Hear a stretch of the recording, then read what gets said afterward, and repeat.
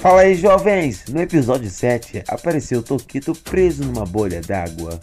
E ele não conseguia sair de lá. E do nada, cara, você sabe que ele tem a respiração da névoa.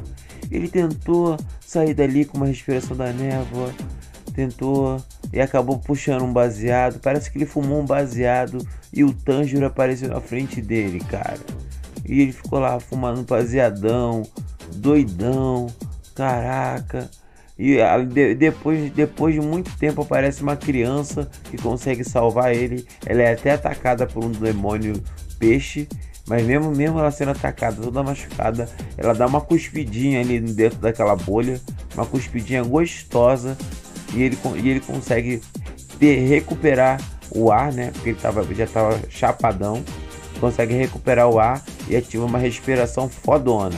Aí nisso que ele ativa uma, uma respiração fodona, ele consegue se libertar daquela bolha d'água. Mas ele continua na brisa. Ele continua, pô, o Tanjiro, os olhos dele se parecem com os olhos do meu pai.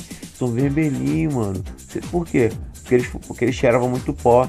Entendeu? O, o Tanjiro, Tangerina, cheirava tanto pó como o pai dele.